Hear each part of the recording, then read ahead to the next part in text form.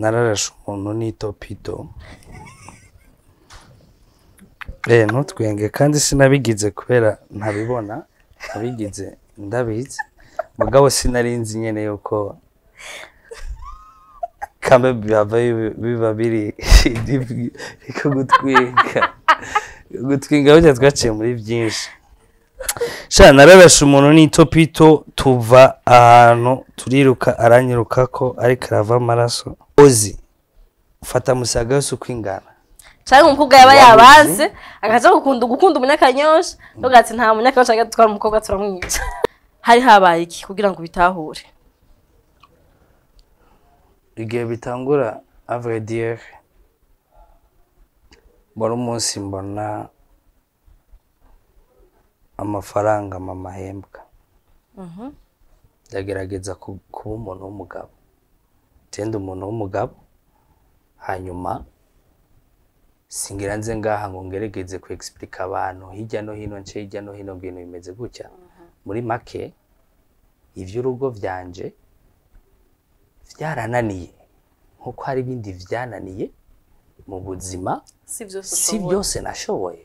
So kuri jewe kuri je avec toute ma fierté. Avec ubugabo bwanje bwose. J'assume. Urabushize hasi muri kuri hanyuma byaranze ndavyemeye yuko vyarananiye urugo rwarakunaniye ego karema. Vyarananiye Kwisigura, ngo ngo ugomba ngo ngo umwanya wose ngo uta- ngo utavuge ngene ibintu bimeze ndabivuge ndabibwira nde?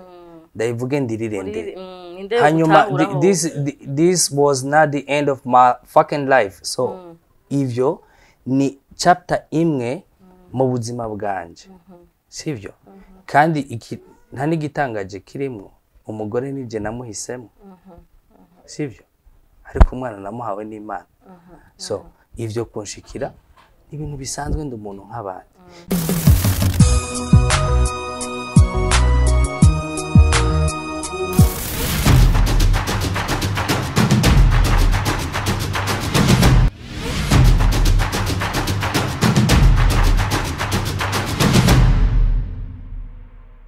Bonjour, bon après-midi, comment allez-vous? Meze neza abakunzi banje, abakunzi ba My Journey, abakunzi ba Silent Vibes, abakunzi ba Fun and Fact, abakunzi ba Girlfriend, abakunzi ba Worship Time, ibyo byose bica kuri Silent Vibes, ko hari abantu babikurikirana byose, ataco bakuyemo.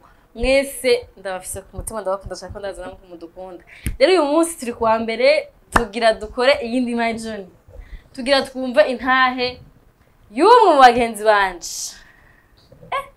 Nazi ko ntazi neza kumwatwariza mugabo bikangerageze ni umwe mu ba bakomeye mu gihugu cyacu Burundi antuka wiyumviriye ati "Um, abo bantu bakora ibiteramo batanga show ama izina ryo ntishaka kuburamo.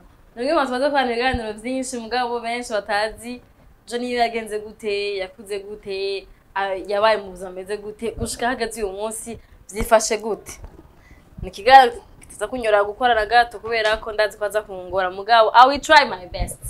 I will try my best. Kandi ndazi ko muza kugiye gucana ikiganiro kiganiro cy'uyu munsi. Reka yenda mwakire umugenzi wanje blaze raskizo asaye blaze safi safi tuko bien murakoze cyane. Iyi intro iyi intro vraiment igaragaza ingene ikiganiro kizogenda ukinitia boga nakimbia ama minjo nakimbia nakimbia mimi. Minjo ndakimbia Ah, murakoze cyane nagarutse kandi kubana namwe kandi gato tuganire tuyage. Uyu munsi rero tugira dukora ikiganiro cyo kwi c'intahe mugabo intahe abantu benshi baza ku kwigirako. Mm, baza kwiyinspira pa ubuzima bwa raswa antuka amajana aho yikurikirana urazi ingene imeze. Mm, twigira ku buzima bw'abandi bantu baciyemo surtout babaye successful mu bintu bagiye baracamo bitandukanye hari umuntu aba aba aba uh, su- su- successful. Oh my goodness. Icongereza kirahita c'est la langue la langue. Yagira ucike swat hari abaje bara ba- baragwaye bagakira ugasanga bateye intege abantu bari bagwaye bakizera ko bazokira nabo nyene. Hari abo ubuzima bwaragowe mugabo ugasanga uyu munsi n'abantu twigira ko tubona nyene bari ku mayika bari nyene hejuru ma highlight hari abantu baca ngaha ah, nyine bafise antwe ntahe zitandukanye. Donc uyu munsi twigire ku ntahe ya rasco koyiciza clovis. Ariko na ka blaze niga ndakavugiye uri kuca ukavuga ka papa kayisi papa kayisi ibyo ni byo sigaye mprefera muri iyi minsi. Papa hasi kayisi Ka- twakira mu kiganiro cyane cy'uyu munsi. Murakoze cyane nanjye ndaryoheye ko nsubiye kugaruka. Kuva dukwiza aba subscribers ibihumbi ijana. Tukaryoherwa twishima. Ufise burya nari natumiwe. Narya amashampanye burya nanjye nari natumiwe. Umutahe wanje waguyemo. Ah warizize. Mm. hari abantu bizira mu kirundi. Ubundi nari nzi ko du- dusangiye umutahe sinzi ingene vyagenze sha umbabarire vraiment burya twagize akazi kenshi reka nanjye nigire busy twari mu kazi kenshi katari. Ah, Eh, menyene twararyohewe hanyuma mbonereho no gushimira abantu bose ba bagufashije kugera aho ugeze ko uh, cano ni gwawe ibiganiro ni gwawe mugabo se wagiye uri sini subscribing.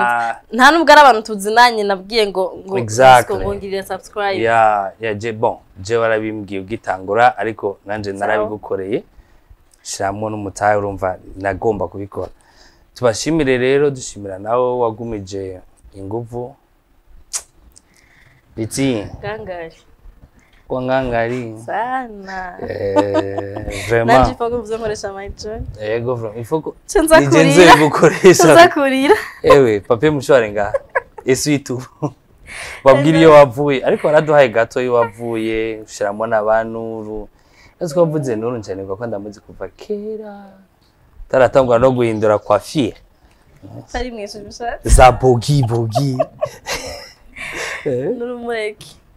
Iyi emisiyo y'uyu munsi rero asha kugira binyoroheye na hari abantu tuza gukorana my john nkaza nyene ibibazo nyene bikaza bikaza Mm. ah, ntanze no kuvyandika vyose nawe wowe ukora ko udakutse kuza kungora ariko ndavyandika kimwe kimwe. Ndahirana kuri kwa mungu Mm. icya mbere ndacishura icya kabiri ndagisimba icya gatatu ndagisimba. Icya kabiri ndaza kugerageza kucishura ndaza kubacamwo okay kugira ntiwiyu- ntiwiyumvire kuri ko wishura jewe Mm. wiyumvire kuri kurishura barya abantu ba- ba- bagukunda Eh, my people, my Eh. people, my people. abantu bawe nibo ugira wishure hari jewe sini mind Mm. don't mind me Okay, okay. Eh, tugira dukorere barya abantu badukunda bakunda rasiko bakunda bashaka kumva ah, yavuye he yagezeho uyu munsi uno munsi mbega ubuzima bwe bwifashe gute ivyo ya- yaciyemwo biciyemwo gute kubera ko ndazi ko ari abajene benshi par toi par abandi bajene benshi bagiye barakora. Uyu munsi reka cas abantu benshi barazi ko ntangura ikibazo canje par enfance y'abatumire banje. Uh, rasiko maze kubivuga kenshi mu biganiro vyacu ko eh, yavukiye mu buyenzi kurira ku musaga. Yeah. umva umuntu agiye gufatanya buyenzi na musaga acabona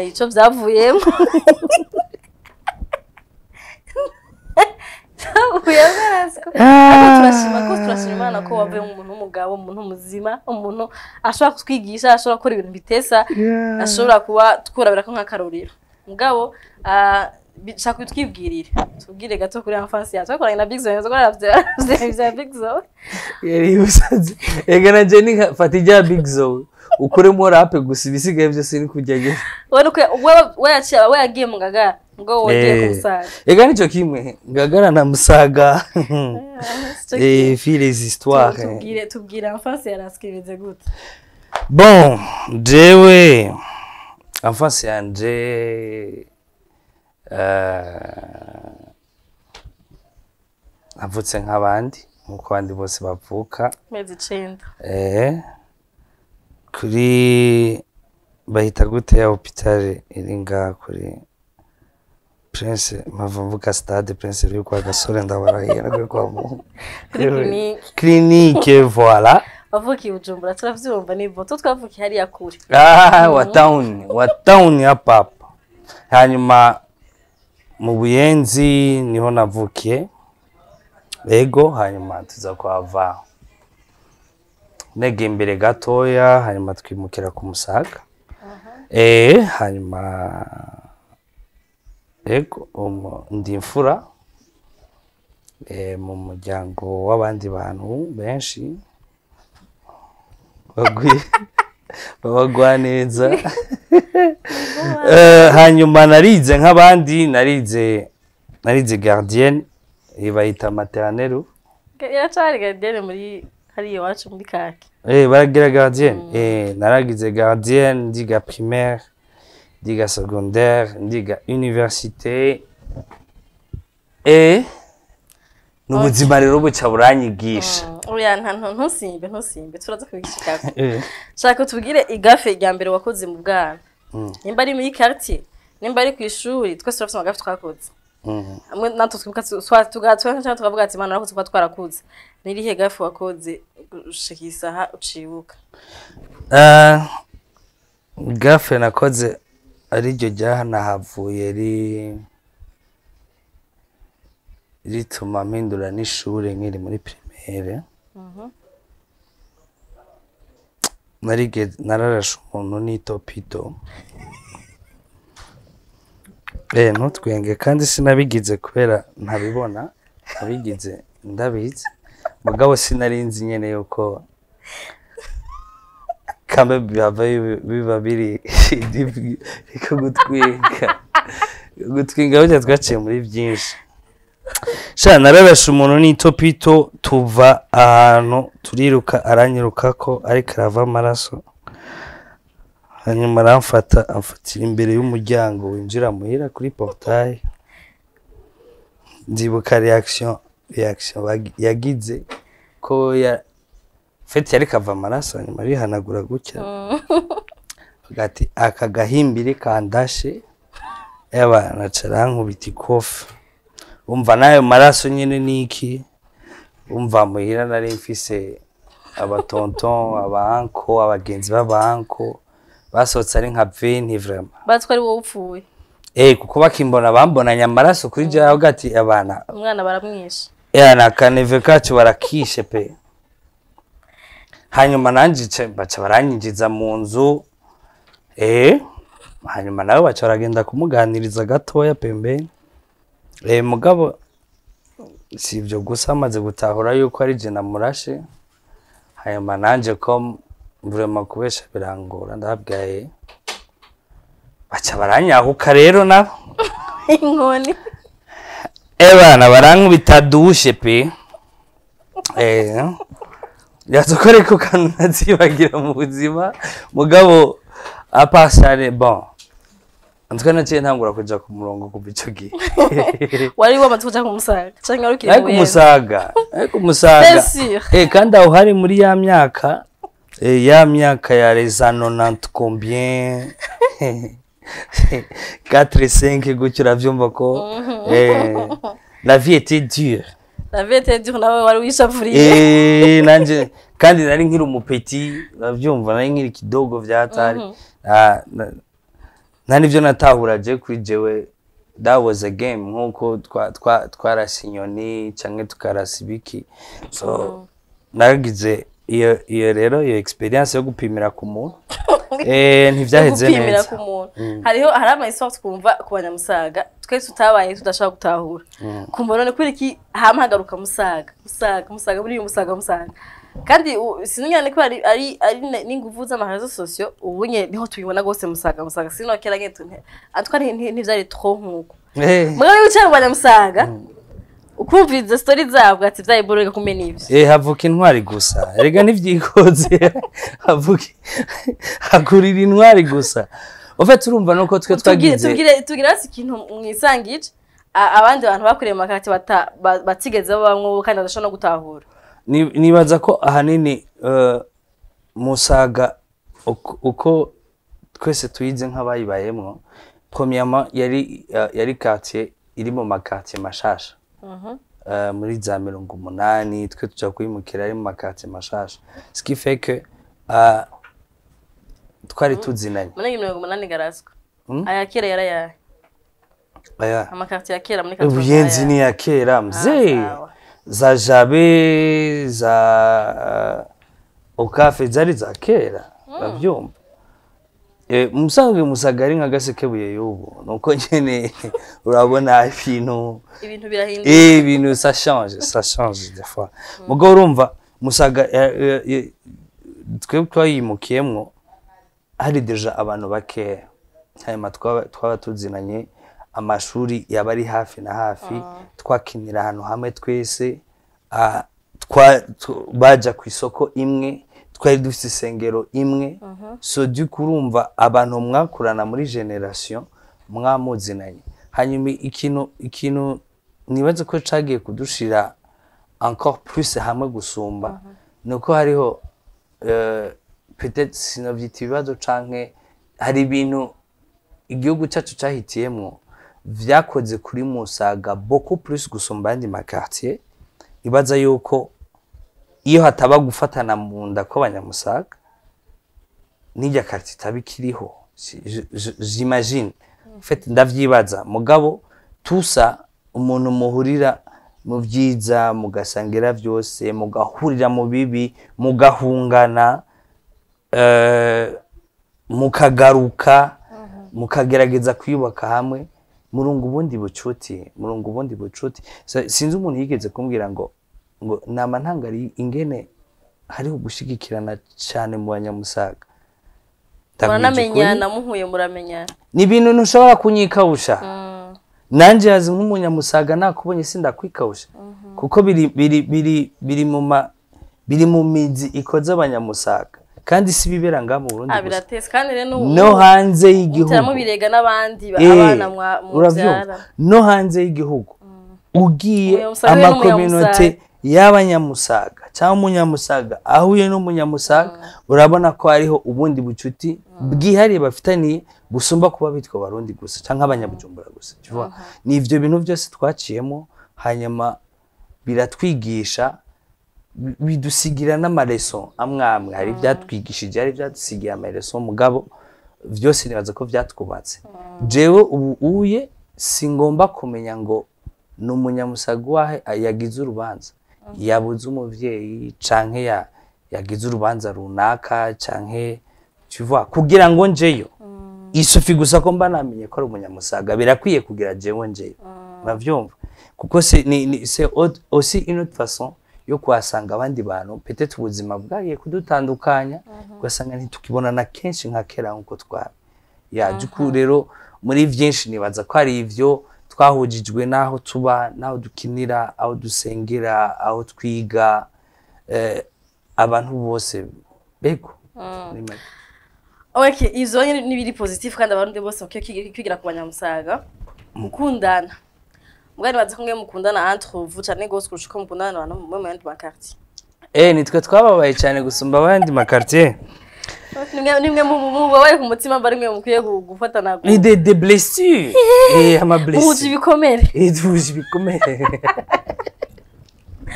oya n'abandi ahubwo twinspira abandi nabo nibakundane hagati yabo nabo.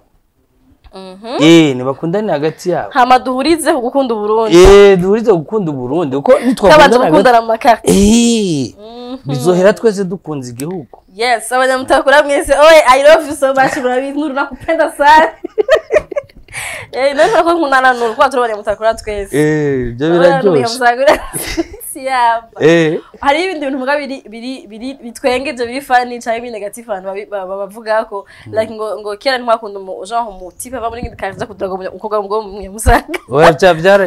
no byari cyangwa cyangwa umutera amabuye no siti siti ni- ni- nta n'ibyakoreka kuko hari abo abari bamaze kubibona ingene bica bihera eh kuko yari fami kirazira ngo nese nakubwiye ko umu- umukatolika kugira ngo umuntu no bira- bi- Bakigira birumvikana mugabo urumva twe c'était c'était une famille. Eh ati nta muntu wadukeneye ni entre nous. Ozi fata musaga yose uko ingana.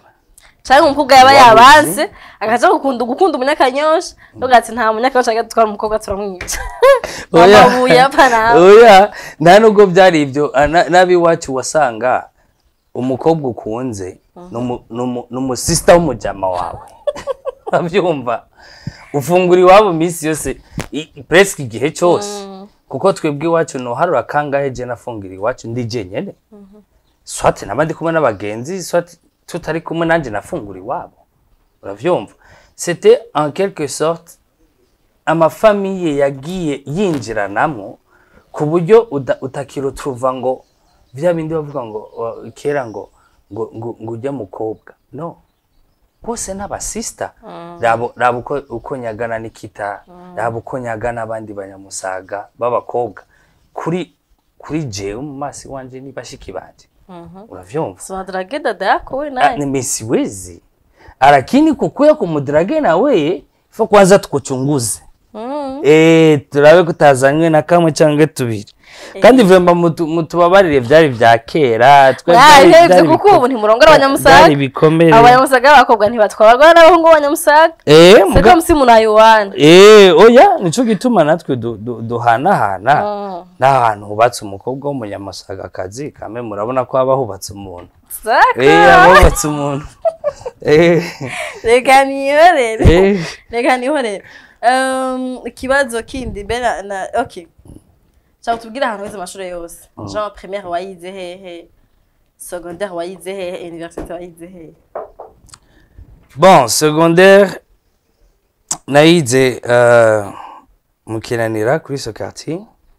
Hanyuma inyuma ya ka ka incident nakubwiye. primaire wayibagiye mbwa ku- kwibagiye Oya, iyo mvuze ni ni primaire. Nayize kuri so quartier mu Kinanira. Hama inyuma ya ka ka incident nakubwira. Uh, bicaye ngombwa yuko bantwara muri interna ya. Yego, vraiment. Eh, kuko nari ntanguye kuza ukundi ku zindi mpamvu zidasanzwe. Aca bantwara muri Saint Kizito kugira ngo nyine nsubire mbu mbu umuntu ndahiga gushika 6e hanyuma mvuyeyo ndaza kuri lycée municipal yo ku Musaga. Eh, abanyamusaga barazi ngene nagira ndahite ngo kwa naka ariko reka reka ndagisimbe. Igenda yiyumva gisimba. atavye yarazi. Eh, ni umuntu twubaha ni umuntu w'umuntu wacu sana dukunda cyane. Yari directeur. Eh yari wacu. Imyaka yose n'ubu ndamubonye ndamubonamo umudirecteur Mm. nubwo yavuye aba ikindi kintu mu buzima nabaga agatera imbere cyane hanyuma akatubera icyitegererezo. Ego. Hanyuma université nayize kuri Martin Luther King. Ego gushika majeje yari hehe mwijara Mhm.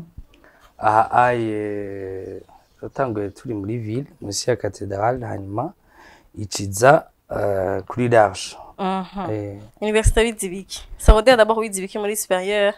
Hama université wize ibiki eh, super eh nibagiye. Nari je nari nkeneye kwiga bampaye bampaye section lettre ngiheza muri muri noze muri dixième ariko urumva sha ntavyo nakunda vraiment vya ibiharuro vyaba hari ma- nk'ibiharuro? byaba no ndagwa byaba ibiharuro byaba muri lettre byose ntabyo nashaka jewe. Que ari aya ma lettre nari ndayazi nari nzi guharura indome ingene zimeze. Nari ngomba kwiga tourisme cyane. Mhm. eh, hanyuma ico gihe yari kuri CST tonda kuhiga tourisme 3 ans. Cyambandanya tourisme hotellerie muri université kuri Martin Luther King. Candayigira imyaka itatu eh, n'uwa kane wo kwispecializa urumva cyampeza muri ivyo. Urumva ko ntari ko, nagumye ndi hafi ya Hafi, tourisme. sawa. Mhm. nyene shaka kutubwira ahantu bihuriye na no gukora amashow. Numva ko birimo. Ko uzana aba abasani bo hanze. Mm. eh Brazil. Eh? Higa gukora amajosi kuzana abasani bo hanze gusa. Oya ni ni nico kenshi badatahura. Kirimo muri branche ya tourisme. L'événementiel tout ce qui est événement. Un événement ntuyikorera mu cumbi wawe ntuyikorera muri sani wawe. Uri- ahantu hose uyikoreye. Uri kurekana igihugu ni nyabagendwa abantu bararyoherwa ibibanza byose maze gukoreramo ama evenement ni ibibanza biri mu Burundi. Mm. eh kandi muri ivyo bibanza byose nta kibanza na kimwe kiwanje kirimwo. Uravyumva? Quelque part uba uri kurerekana ya sanamu y'igihugu. Hanyuma aussi abantu ibi dukora bibonwa n'abantu bari ku isi yose. Tu vois? hari umuntu aba azi aba afise uko yiyumvira igihugu. Ko twese turafise ukuntu twiyumvire uko Etats-Unis yoba imeze uko hoba hameze mugabo kubera turaba ibihabera kenshi usanga twa twa une petite idée y'ico Y- y- gihugu. y'ingene hameze. Mm. mais mais aussi twebwe natwe ivyo dukora ça donne aussi une petite idée y'igihugu cacu uko kimeze. C'est ça. C'est vendre notre pays aho tugeza umwe umwe wese aho ashobora kugeza. Kandi ubikora neza. Nibaza ko dushima uwiteka dushima uwiteka. Cyane n'ingufu zawe. Abantu bakuzi barazi ko uri umuntu akora vrema akora cyane uretse ko ukora muri hoteli hoteli ho na yo ihuriye he na hoteli nini na turizi Icayi? utucuruza icyayi mu mahanga? Eh abarundi bamenya ko dufite icyayi kiryoshe. Bibakia pale pale. Ndabuze ndagukura wewe ni we washobora Ndabuze. Eh, yasiko ni umukozi wa leta akora muri OTB akora ama evenement akora ibintu byinshi akora ibiganiro hari umuntu yavuze ngo mu mpano sinda kwanda ndafite n'imana gukora ibiganiro bamutumira akaza akaganiriza abantu kandi bikaryoha niyo mpano arayifise antwa vraiment ari umu hard worker. Bisigura ngo hari ikintu ubuzima bwakwigishije hari ikintu kugira ushobore kugira esprit yo gukora cyane majoro uri kuriruka urara aho gahagaze kenshi urara uri kuriyumvira ngira ntumire nde ngira ngire nte. Hari ikintu caba cadeclenchije ko kuntu ko gukunda ko gukunda gukora cyane n'iryari n'iryari wa- wamenye ko ubuzima bwo kuba ngaha ku isi atari umuyayato atari ugufisina hari habaye iki kugira ngo bitahure igihe bitangura dire wari umunsi mbona amafaranga mama ahembwa igihe mbona actually niga mu w'indwi. Ufise mu ma 13 ans. Eh, 12 ans. Hama umunsi umwe sinzi ikintu twari ko turaganira na mama turi muri salo aracishamo amahera ahembwa ndamubwira. Vya vrai? Hanyuma antwata kubaza ko atazi mama wa rasiko nta muntu amenywa na bose ni, roza twagira yezu. Ni umusitari wa kera cyane rwose.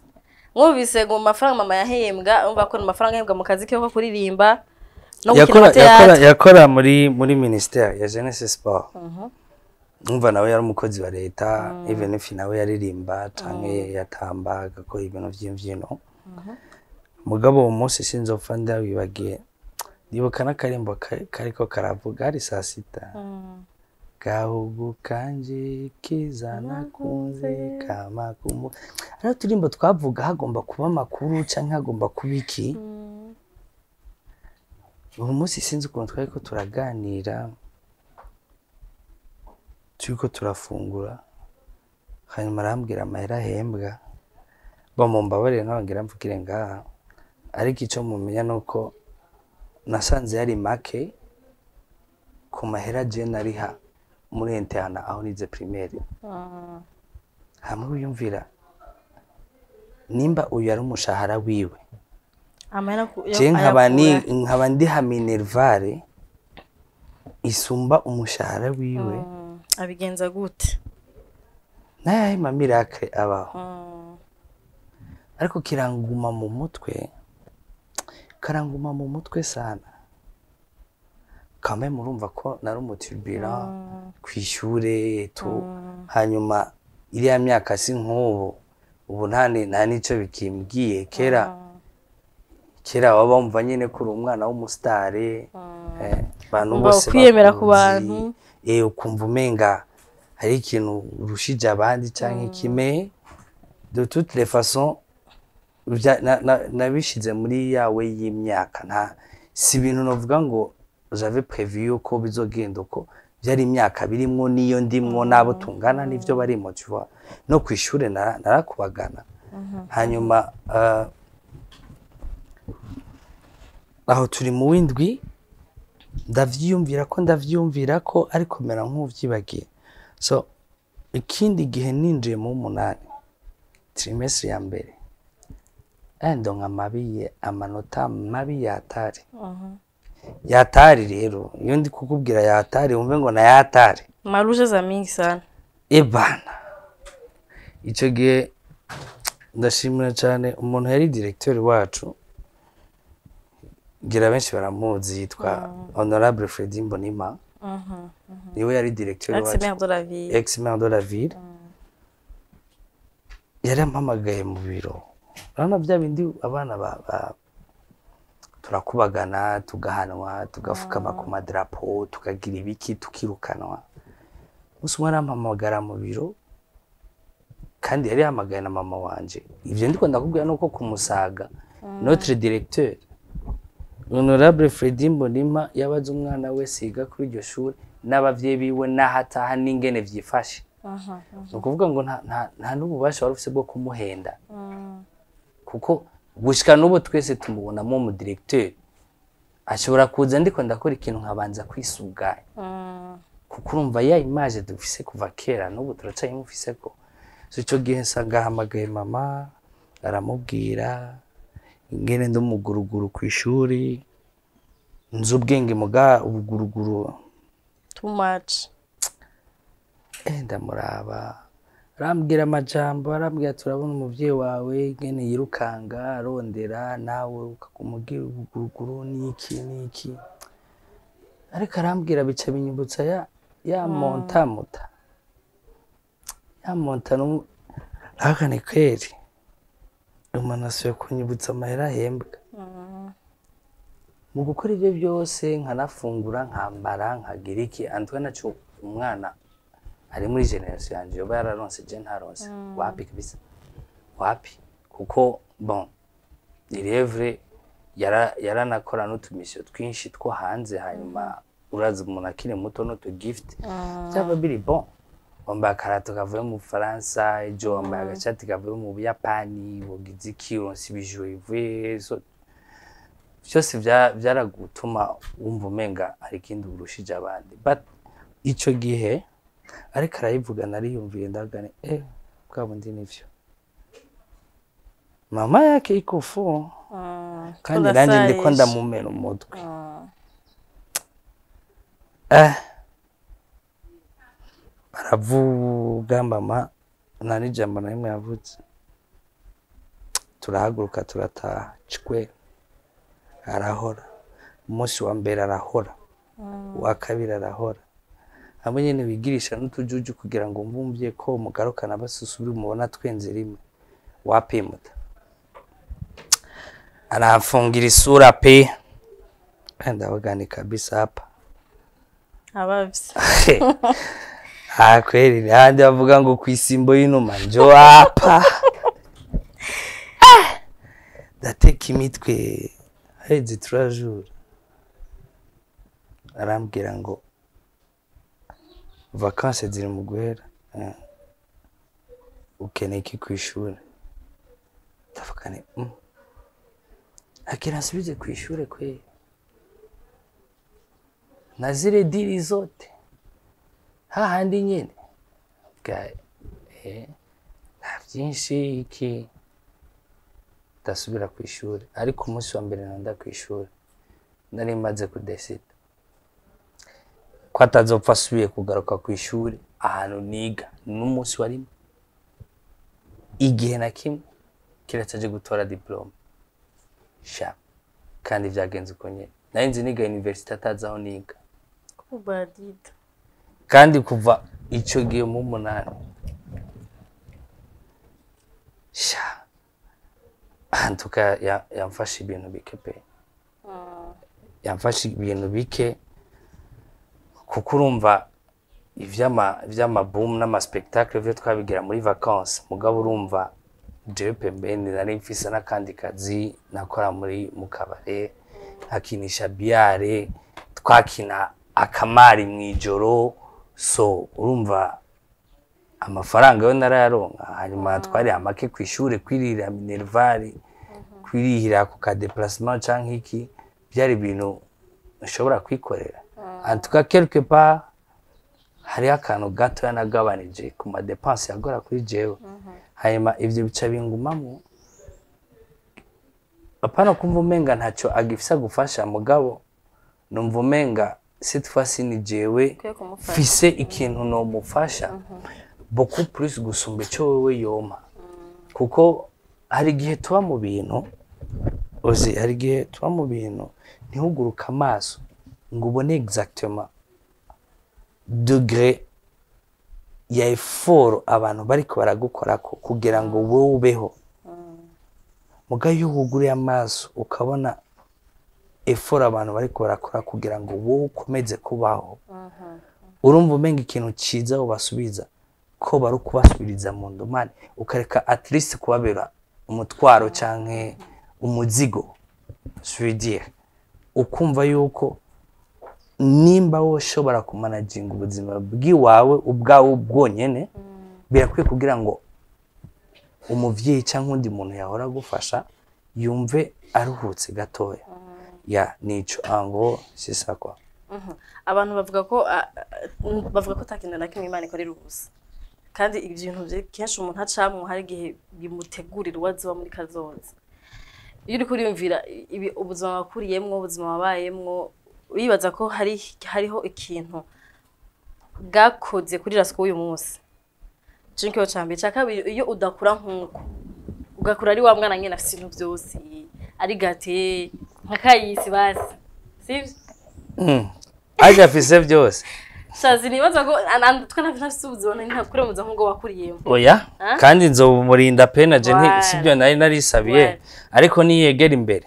Tuzobiganira gushasha pe. Nawe aba arafise ukuntu imana nyene izomwigisha kuri kote yuko ukuntu uzobabayeho ego. Wibaza ko ako ari ikihe kintu ubuzima bwawe bwakoze eh, genre impact bwagize ku buzima bw'uyu munsi canke i- iyo uza gukora nawe ufise ibintu vyose wari kuba uri mu marasi kameze gute? Sha jewe iyo ntakora uko nakuze simbaza ukundi nari gukora uko ariko kandi n'uwo mbisubizamo no- nohitamo kwa kundi nyene Mm. kuko ndafise example z'abakuze borohewe cyane gusumba jewe. Uba aravye uwo munsi ukumva. Sinamviye ubuzima bwanyu vraiment sorry sana eh hamwe muraho ukavuga ati ebana pole sana hari igihe wigeze kubura iboho je nakubititse sawa sawa. Eh ariko now eh biragoye biragoye. Ati nofuma mbabara mu Eh, ntango. eh, eh, kuko urumva hari go- hari igihe burya irevuga umuvyeyi wese akunda umwana sivyo hanyuma iyo amasengesho yose dukora nuko umwana wacu ataciye tuburana muga hari aho imana ibikora ico kintu kakibura kugira ngo igutegurire umwana ntaza kure yumva ko byose ku isi vyoroshe canke ari wawa. Ni imana ibikora nta nta sinovuga ngo n'ububasha umuntu akoresha canke ngo ubifise urabimwima no hariho izindi nzira ntahura neza ko imana icishamo umuntu kugira imutahuze ko itamuzanye ngaha ngo tuba abantu tuje gufyina sivyo? Kuko ubuzima umuntu wese afise target yiwe uwo arafise umurimo waje gukora ndafise uwo naje gukora quelque part umurimo w'iwawe n'uwiwanje urabona ko hari igihe uduhuza mu bintu nk'ibi ariko navyo twibaza uzi tuciga muri primaire. Nta jewe sinzi ko nomenye n'umuntu wo kumutakura ni ukuri vraiment I'm so sorry. Byari ibintu ntabona ko mutakura mutakura iracari mutakura. Da bon si Vuga ati kuvuga ni na- Barca. si kuvuga nabi ababayo cyangwa bakuriyeyo ariko eh hari kure hari agatambuko gatoya hmm? hari agatambuko eh ubu niyo batagase baratagase baratagase ubu harabaye hafi. Eh, ubu harabaye hafi eh, iyo nzira ijayo uva uca mu igaraje sinokubera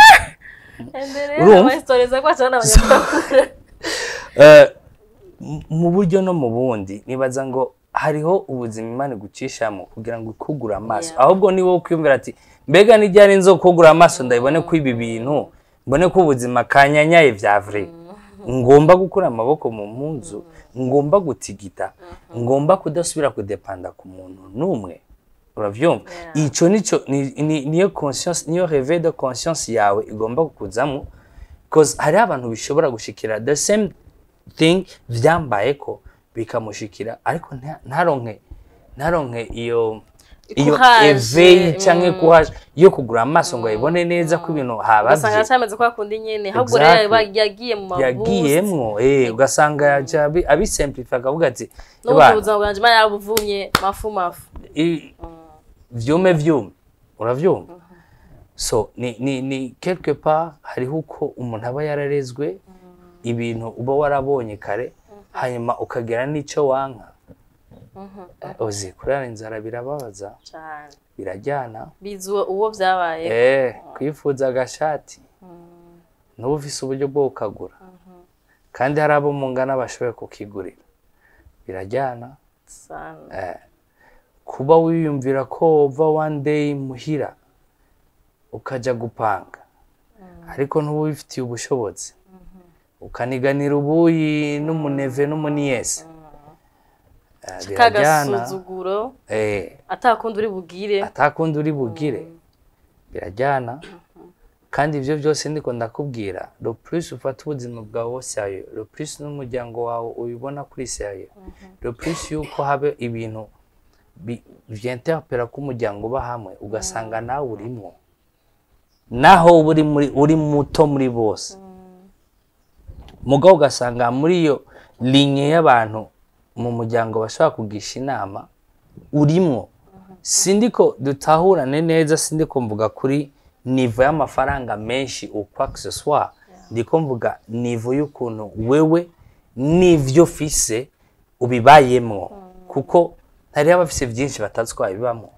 Hari abafise bike bazi kumanaginga exactement. Ingene bashobora kubibamo ugashobora gusanga umuntu araryohererwa ibihumbi ijana. Ufise miliyoni icumi urabuze n'icyo ubikoresha ubundi ariko 10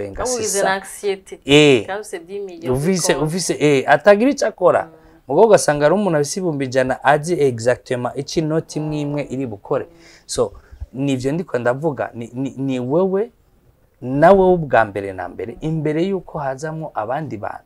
Kuko wowe the more you trust in yourself niko n'abandi bagutrustinga. Mm. ingene icyizere wewe ubwiwawe wikorera nico jewe jo niyo twahura nzo gukorera hanyuma niwanyereka yuko atacyizere wifitiye niwanyereka yuko wisuzugura nanjye nzogusuzugura. It's simple. Biri biri easy. Niko ibintu bigomba kumera. Uko wowe wifata niko wobrije abantu sans toutefois kubabwira uko bari uko bari bugufate. Kuko uba wabahaye example y'icyo wowe uri. N'icyo bagomba kubaha kuri wowe. Tu vois? Naho rero mvuga nti birakeneye quelque part yuko ukoresha tibia yawe neza kugira umenye ngo ni ryari? Ni ryari ntegerezwa kuba serious? Ni ryari ntegerezwa kumaka ma présence? Muri aba bantu bo ndabona n'uriga na cheka tibia. Oui tout se passe ici dans le tibia. Byose ni byose no mu mutima of course. Mm. dasiko eh, nibaza ko aba- abantu abantu benshi bara- bara- barazi ko ukora akazi ko gutanga umunezero. Ahantu gutanga umunezero nimba utegura show no kuba usanga nyine guha show abantu. Guha show abantu ushaka ko baryoherwa bagira ubuzima buryoshye baza bagatamba nyine bakinjoyinga life. Mugabo ah, hari igihe usanga ukora akazi ko gutanga umunezero ugasanga uriko ugakora wowe utameze neza. Biramaze gushika ukaja gukora show wewe utameze neza. Gutanga umunezero. Wowe iwawe mu buzima bwawe hari hari isanga. Eh rimwe. Tura igenshi. Ngo mumere nk'aba bandi ngo we nta na rimwe twibwira tubona twenga muri muri show zawe. Inde yikubwiye wibwiye wewe. Mm. ahubwo ni no. Jewe amasho iyo si santene kamwa amasho je nogira sajya oya. Ega ega the now creative ntabwo si ntabwo si yes ishobora kuba ari sosiyete yanjye ariko ntikora ibyanje jewe ce nkunda reggae music ce nkunda est avec na rastafarisme yaba ari byo nikorera mba nkora show za reggae buri gihe. Umwanya wose hanyuma nanjye nkaba ndiko ndapamporinga meze bon eh? Ninjoyinga myself. uravyumva. Donc duha amashow utaryohewe. No si question yo kuvuga ko je ntaryohewe. Mugabo no kugira ngo abandi baryoherwe hariho wowe icyo ugomba gufata muri wowe kugira ngo bitononekara hari imbere. Ariko batubwira ngo dutanga ibyo dufise. Iyo uriko uraduha umunezero wowe utawufise. Mm. biba bimeze gute? Oya muri iyo we ntabwo ari kimwe. Kuko iyo umuntu atanga icyo afise sha burya nobahaye bike. Wibaza ko mbese bingahe? Ega da. Ntacyo nibitseho reka kumanguza imana ntihave igukorera igukorera akantu ku mwuka aya! She mana nanje kweli nudejeje kuganira ambwiye ati kabisa we genda genda ukora ikiganiro. Nawe sisita yako asanze kukukatia ngo wanse kumugira muri emisiyo nanje naje. Urumva? jewe sosiyete yanjye n'abandi dukorana we create only happiness. Aha. eh, yes i know. eh. you create, happiness but when you don't have that happiness No, we don't give, but we create. turayikereya okay. Eh. Sawa. But still Eh. ukreye ikintu at least uba ufise ndazi oya mba nabizi. amayide ubundi mba nabizi. Ubundi mba nakuravye mba nabonye icyo ukeneye. Hama icyo ukeneye akaba ari cyo nanjye nirukanga kurondera. Ariko ntacyo ntanga ciwanje bigaca bihera gute? Kaja bihera bon Ah. abandi basi iyo biheze abantu baryohewe uratebuka ya happiness ba- yamba barayikwandukiza ndi bon barakwandukiza turakwandukiza happiness. Bon sana. Jerega i- ikintu ahubwo rero ikintu- ndakubwira ingene na- ndakuvumbuye aka kanya nona ndakuvumbuye eh? Uriya munezero utaba ufise urawukuriyatinga ku bandi bantu hanyuma akanoti kinjiye of course you have to uratwenga ukaryoherwa mm. hama ugahita tukwandukiza wa munezero wacu njo system? Oya umunezero ura- uraza naho akanoti kuba katinjiye Mm. kuko rofeti yo ko mbona abantu baryohewe ozi hariho abantu bavutse mu bihe bibi. Bavutse. Ah, nguma mvuge hariho igihe uburundi bwaciyemo. Hariho imyaka uburundi bwaciyemo abantu bagiye barabaho bakabaho mu bihe. Novuga ngo bitari bitari trop parfait aho umunezero utari utari ikintu kiza ubwa mbere. Tukibaza ingene turi buryame turi buvyuke tu- tu- turi buhunge tu- turahungira he turaja hehe urumva ivyo byose byantumye ni ibintu byaje kugira ngo bitugabure. Biducemo imigwi. So jewe to create a happiness cyangwa gukora ibiteramo sinkora amakonseri gusa sinkora amafestivali gusa nkora ikintu cyose gishobora guhuza abantu. Icyo ari cyo cyose gihuza abantu mu mahoro n'umutekano. Bakumva ko banezerewe. Sibyo kandi uramaze kubona ko nakora ikintu kimwe gusa nkora ibintu byinshi. Byinshi cyane ni ukugira ngo n'uwo ntaronse muri iki nze ndamuronke hariya. Kugira ngo singumane babandi nyene. Jewe ngaha mu bwenge wanje nta kintu nifuza nko kugwiza ibintu bituma abantu baja hamwe. Kuko nabayeho igihe kirekire umwe wese yumvira haja mwavyumva? Twiyumvira ati ebana ejo bakarasa ejo bakadutera katyusa jewe ncaha uwo caha nawe caha so this is my time yo kugarukana ba bandi canke n'abatabibonye. Bakumva l'impact yo kuba ari kumwe n'undi muntu mugenzi we. Jewe wanashima ni hamwe nyine umuntu aba yarakunze ikintu gishobora guhereza ah, agaciro. Ibiriko bibera kuri stage kuko nsanzwe ndanabikunda. Muga jewe burya ibintu bindyohera si biba biriko birapasa kuri stage. Ni biba ni connection ibiriko yipasa mu bantu. Ni namenyanye na naka naka yamenye nabonye naka twaherukana kera twarabonanye. Hanyuma n'ama feedback aza. Rasiko warakoze cyane. Ebana hahandi nasanze umukuze cya kindi wagikoramo vraiment jewe nawe uriye none twasubiranye. Hahandi twagize gutya na gutya na gutya. C'est ça qui me fait plaisir. Peu importe umuntu ariko araririmba canke agira gute jewe nshitsi wanje naza tv nkamuraba sivyo hanyuma nta nuwo ntokoresha ntashobora no kumushikira. Mba ndabavugisha. Kubw'iwanje bajya icyo baba bamaze ni ukugira ngo abo bantu baze. Kandi si mpaka babe- baba- babisinzi ry'abantu si mpaka babisinzi ry'abantu naho buba cumi venti ndamaze gukora ibintu bikoranye abantu disi venti trente nk'uko maze gukora ibi- ibi- ibikoranye abantu ibihumbi bine bitanu bitandatu. So vyose ikintu kiri important iwanje ni ukubona uko umuntu aje adatashe uko yaje. Uko yaje akahavana ikindi kintu. Nimba wa- warinze uhashika numbwira ngo baririmbye nabi bite je biraza kuncanga kuko nanje sindirimba mugani wambwiye ati je vrema naje nahabonye ozi. Ozi namuramukije ijya mbere mu buzima bwanje. Cevyo bizonjohera pe? Umutima w'umuntu utashe uryohewe Eh, umutima w'umuntu witashe uryohewe bigutuma nawe ugira umugisha. Eh, ugira umugisha. Abantu. Mm. kumenyana n'abantu. Benshi. Niko ubuzi bwacu natwe niyo avantage ya mbere biduha. Biraduha connection gura n'abantu utari uzi nuko mwupfuye muhuye. Nibihe bintu nibihe bintu bindi wungukiye mu gukora amashow?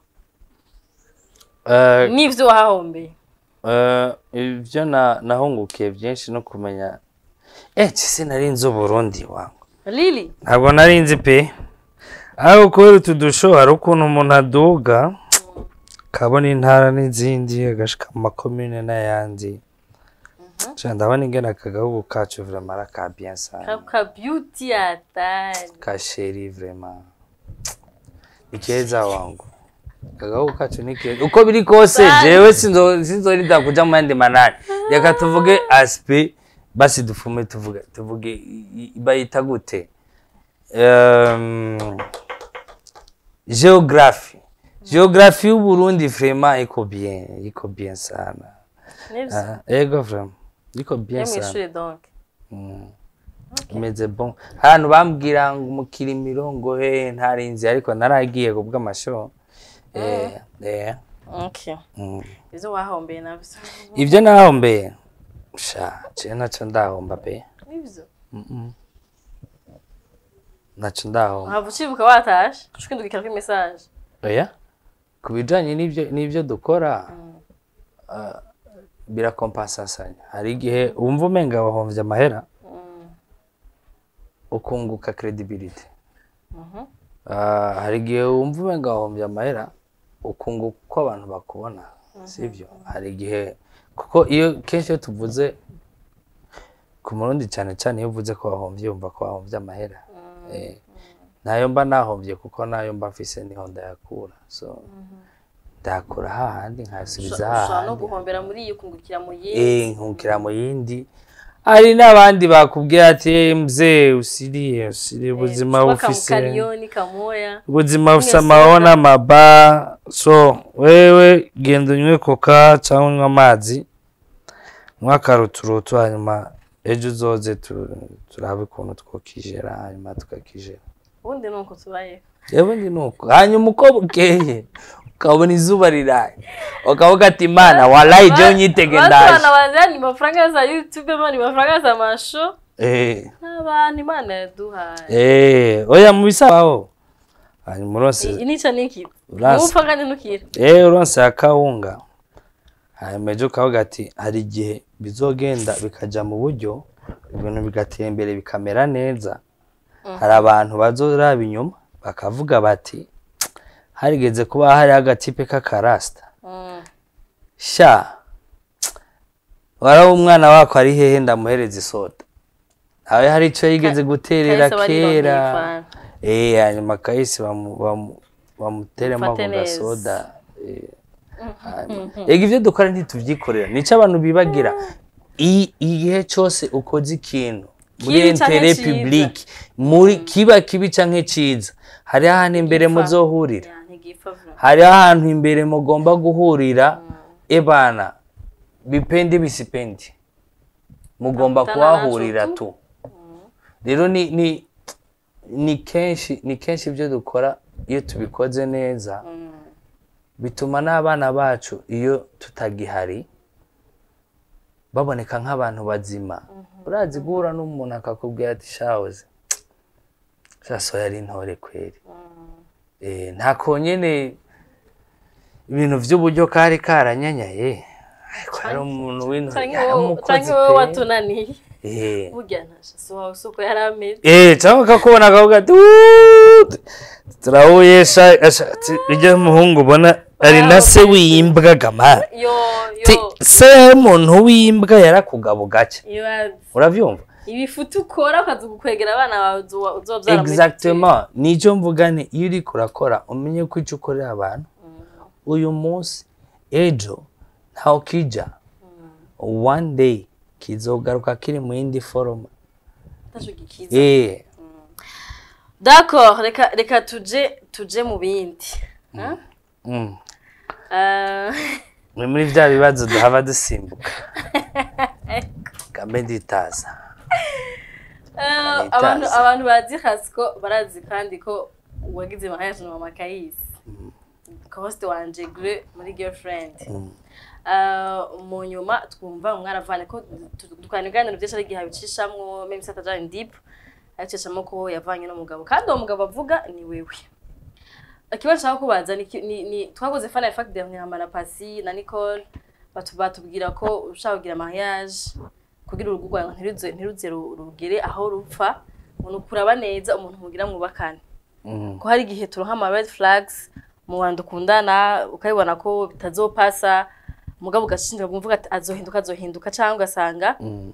bikuguye ko umuntu ntiyari mubi ntigeze ntigeze ubona ibintu bishobora kubatandukanya mu- muri fiyansa yanyu nawe bikaza kononekara mwamaze gushika indani wowe na Greta eske uh, muri fiyansa yanyu hoba hariho ubuntu bwoba bwaraje vous mubona ko ça va pas passer murashindira canke vyaje mwamaze kubana?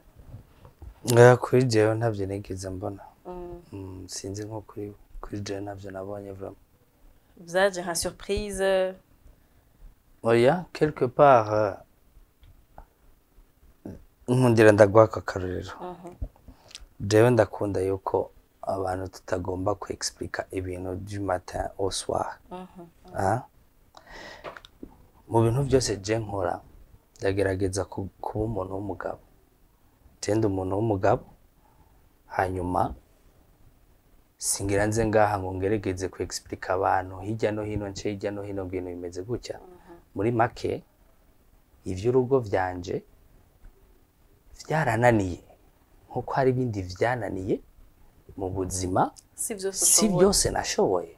So kuri jewe avec toute ma fierté avec ubugabo bwanje bwose suje hanyuma vyaranze ndavyemeye yuko vyarananiye urugo rwarakunaniye ego carrément vyarananiye nta yindi explication noba mfise isumbiyo.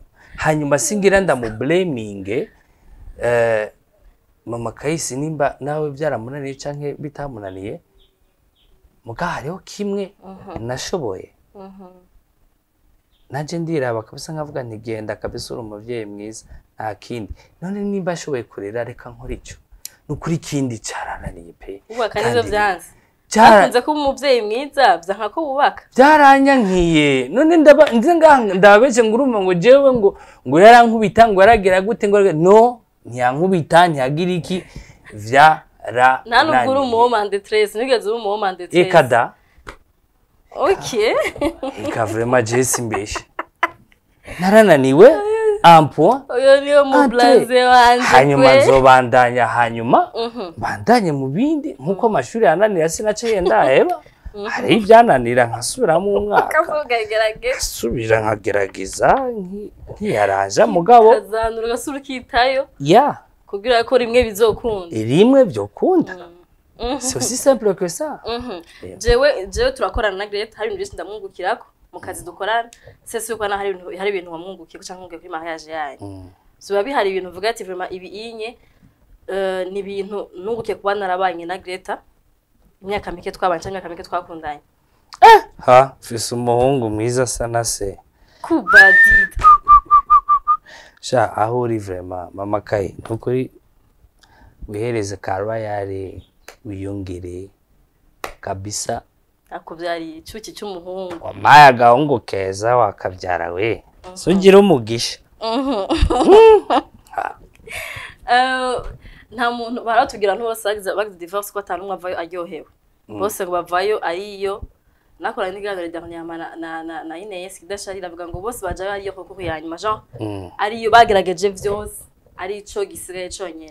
Ca cande divorce Jean kuvana Eh. n'uwo muntu kwa ico conyene kiba gisigaye. Tuba waramusengeye warahanuye mwaragize mwayicaye mugatera mukabiruha mukavuga ati enough is enough. Mm. ni zihe mvune vyagusigiye kugira amahera. Twese twaje mu mahera yari itovye yari sho na sho yari ubundi si- ko bitese none ubundi sinakora amasho yego vrema mugabo ah uburyo bwo na ahaha waravunikiye? Ariko bikora umugabo. Eh. Ariko ni- ni- nshaka kutubwira imvune kuba mariage itarabandanyije vyagusigiye no ahubwo Joyce ndabifata nk'imvune. Ndabifata muri iyi way sivyo nta muntu ava muhira azi yuko hava amara abantu mu ibarabara. Mugabo iyo ugiye ufise ingendeshwa ufise imodoka ushobora kugera imbere petetre ntiwaravye yuko frein ifata ntiwaravye yuko. Utuntu tuza ni twinshi ugasanga uragonze. Ariko ntubavuye muri uvuga ngo ujya muntu ari kwikinga agenda aza kumuseka ndamwica. Mbwa hari ababipanga abapsikopate eh ubuzima ko je ntarimo muri abo je nanje yabaye accident mbayeho kandi ndi umuntu nk'abandi sibyo? Ntibisigura ko kubera ndi rasiko bitonshikira kubera nakoze mariage y'agatangaza bitonshikira yari y'agatangaza ariko ntiyari ya mbere.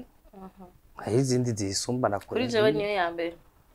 Umuntu wese arivugira je kuri jewe niyo yakora nigira no mu mariage make donc muzona muri nkiya nagiye niyo ya mbere.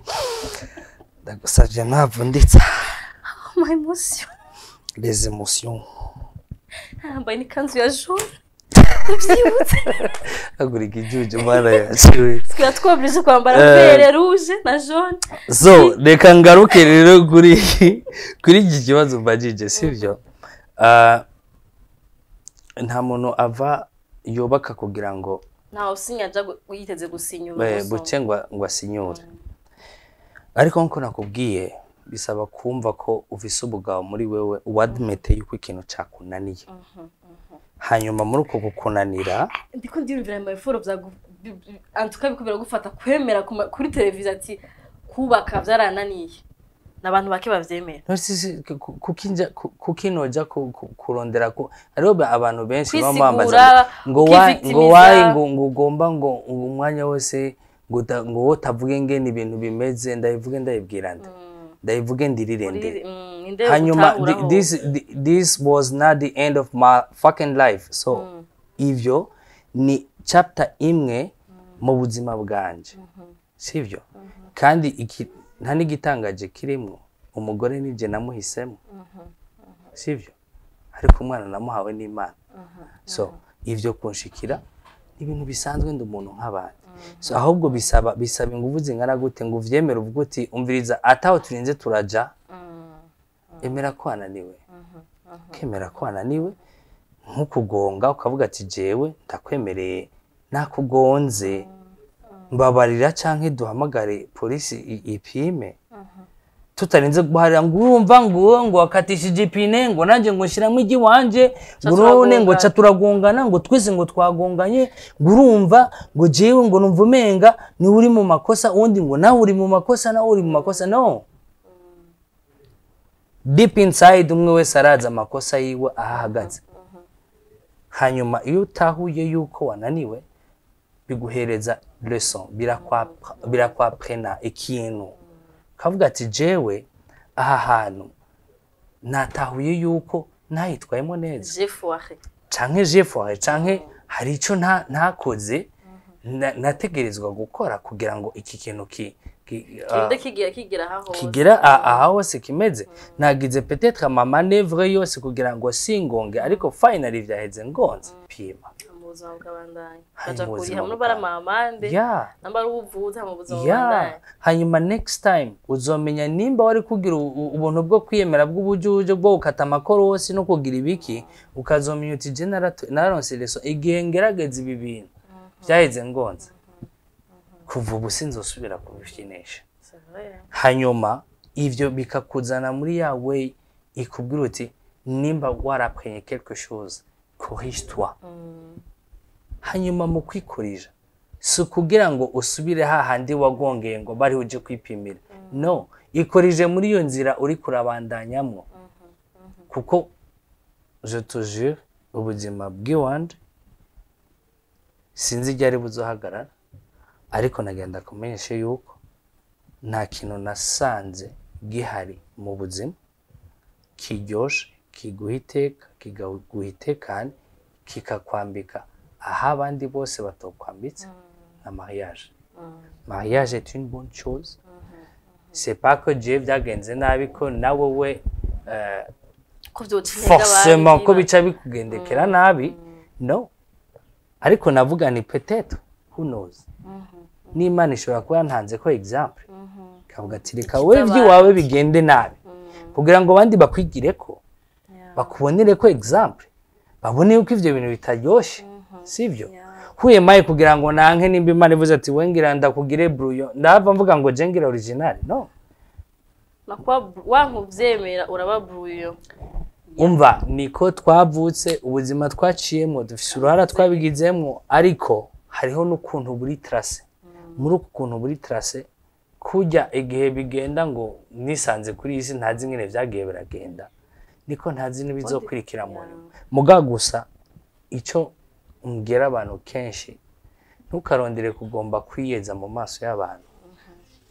Umuntu w'umugabo canke w'umuntu w'umukenyezi usemere n'ijwi rirenga uvuga uti narananiwe.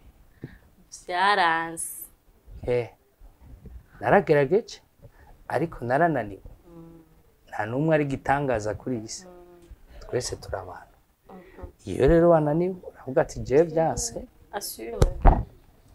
Assume kambandanya petetre hari igihe mu biratozi agurisha vyose bitankwira mugabo ugasanga harimo kimwe nshobora kuronka conkwira ari guyanje n'ikindi ntushobora kuba narakunze nkapfira nkavuga niki nubwo kitanguye ndakigura ariko igihe cyose nzocambara kizondya ubuzima ni uko nguko. Sante john Nimba ari byo.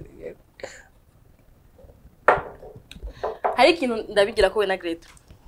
Cooperating yanyu. Ukuntu mukoparatinga kayisi meme si mwavanye. Kay- kayisi ah, urabibona ko afise abavyeyi bose. Bari present kandi mwaravanye. Ah, shaka utubwire ukuntu mwabivukanye gute. Kuko nibaza ko hari abavyeyi benshi bavanye. Mugabo ari ingorane kugira ngo bashobore kurera abana babo. Ntibagire iyo manke y'abavyeyi. Ugasanga ni bimwe bitwaza n'abagore ba- n'abantu baguma mu rugo bavuga ati jewe nzocinyizwa nzobaho nabi mugabo simve hafi y'abana. Kumva ko solution no kuguma kumanga kugira ngo ushobore kuba hafi y'abana. Oh yari ku kukiza amagara canke gushaka kukiza umushaha wiwe n'umwana ntabigire mu ngaruka mbi. Mwebwe mubigenza gute? Bon euh, bwana shima si n'ibintu bi- biteye ubwoba ariko ivyo mvugira ngaha ivyo mvugira ngaha kuri kamera ni ukuri si amajambo yo muri bibiliya si ibintu mvuga ngo bigomba kugenda uko uko mugabo ni nk'uko ha- hari abo abo vyakundiye kubaka twebwe petetre biratunanira nk'uko hari abandi comparating yananiye twebwe tugashobora hari nabo yankira babana hari n'abo yankira babana parce que nda- ndafise umu- umu- umu- umudamu umwe. Fois iyo mpostinze kayisi kariya gahungu kanje. Nafa pase namubwiye ni vraiment uzi umbabariye mugabo. Ndumva ivyo umbwira bitanguye kunsitaza. Yambwiye ngo ngo se ngo est vraiment bizarre. Ngo ingene ubona umwana wawe iminsi yose mm, utabana na mama wiwe ngo ariko nkaba mfise umugabo byitwa ko tubana ariko ata munsi wari mwabona abana. Atari kwa mungu tubana mu nzu Ba- ni- mais ni- c'est vrai la vie la vie est bizarre. Biri bizarre mugabo urumva uzi nivyo nakubwiye on en peut rien. Bidakunze vuga uti emaji byaranze. None uwo muntu abona umwana dimanche gusa bavanyeho iyo niyo dimanche yobomo abo bana yobabona bon biragoye. Mugabo nibaza ko kuri twebwe ni bizanse. ni ni ya mana ni ya mana ikwima ibibamfu ikaguhereza mu buryo ni ya mana igaruka ikigaragaza ikakwereka ko igihari kuko eh, ntivyoroshe mugabo. Même ni uko twebwe twagerageje kureka kwiyumvira twebwe ubwa mbere tukiyumvira umwana. Kuko petete iyo nshaka mu kwikunda cyane hari ibyo ntari kwemera. Hariho petete nawe iyo aza kwishiramo iyo aza gushira mu kwikunda rwose atari guhava ngo yemere. Ariko iyo twese tubonye yuko iyo uwo muntu ntiyari kubaho iyo nza kuba ndi jeje nyine cyangwa iyo aza kuba ari wenyine ko iyo ari produit yacu twese babiri hanyuma ugakuramo yuko umenga hari umuntu afise pariti nini ku wundi biroroha. Hanyuma icyo bikoze eh, umwana n'a rien à voir yuko uba papa wiwe canke mama wiwe canke mubana mutabana icyo umwana akenera ni presence y'uhari y'uwumufitiye uwo mwanya y'uwumukunda byi- byimbitse. Icyo umwana akeneye kuri wowe ni umwanya wawe. Na si titre yawe ngo uri perezida de la republique si titre yawe ngo uri umuntu runaka umwana akeneye wewe n'umwanya wawe. Duzo usanga hariho abana bari atashe cyane ku bayaya kuko nibo nibo bahaye babahaye umwanya. Cyo gituma uzosanga hari abana baba batashe mu zindi ngo bajya gukiniramo pasike ni ho babona ko bakiriwe nk'abana. So ni wowe wo kwiyumvira ati mbega uyu mwana ndamuha umwanya ungana gute hanyuma ikindi twibagira ni uko kenshi ni resiponsabirite duhabwa n'imana twebwe twebwe turabayaya b'imana abana si ab'iwacu Mm. abana ni n'imana ibadutiza ni igihugu kibadutiza panda umwanya uri determine kuko niyakwiza 25 ans ntazoba gitaha mu nzu iwanje dehors azoba yararondeye iyo aja kuba. Niyatanavyumvira wenyene je nzobimufasha kugira agende?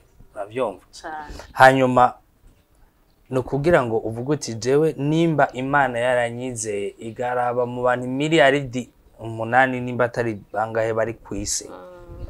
Ikavuga ati kino kiremwa ndabona cyoberwa kuba mu, maboko cyangwa mu biganza byakora iciza ndinde kugira mbwira imana ko ivyo bintu atavyo nshoboye? Ah, ndinde kugira mbwira imana yuko kandi iyo ibizi ko ubishoboye Eh, ku, ku, ndayibwire neza atana ubwoba Yemeze. ndayirabe mu maso ndayemeze yuko yampaye umutwaro je ntashoboye savidi ni ni ukumenya uru- uruhara canke igihande turimwo muri kazoza k'uwo mwana. Paswe uwo mwana ukuntu abayeho ni ingabire twaragabiwe twaratijijwe. Ariko one day ntitu- ntituzoba tukimufise hazogera igihe yimenye. Mugabo ni igiki turiko turakora muri uwo mwanya we atarashobora kwimenya? Uravyumva? So ni ho rero haca hazamwo ya ya ya mapa itegerezwa kujamo parce que euh, ndi papa wiwe? Hariho part ya mama wiwe nka mama wiwe. Hanyuma nta n'umwe ayobrije uwundi. Hagati ya je nawe nta n'umwe ayobrije uwundi. Na- ni ukuvuga ngo wowe urazi ico uri bukore kuri uwo mwana. So utagikoze vraiment. I'm so sorry.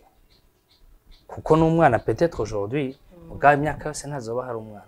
Hazogera igihe agira l'âge de la raison hazogera igihe atahura hazogera igihe wenyene. Avyibonera ko abona umuntu yagize uruhara mu buzima bwiwe akavuga ati ni naka cyangwa ni naka aussi simple que ça hanyuma aba aba aba bana tu, tu, tu, tu, turonka nk'ingabire tugabiwe n'imana yifate neza cyangwa yifate nabi.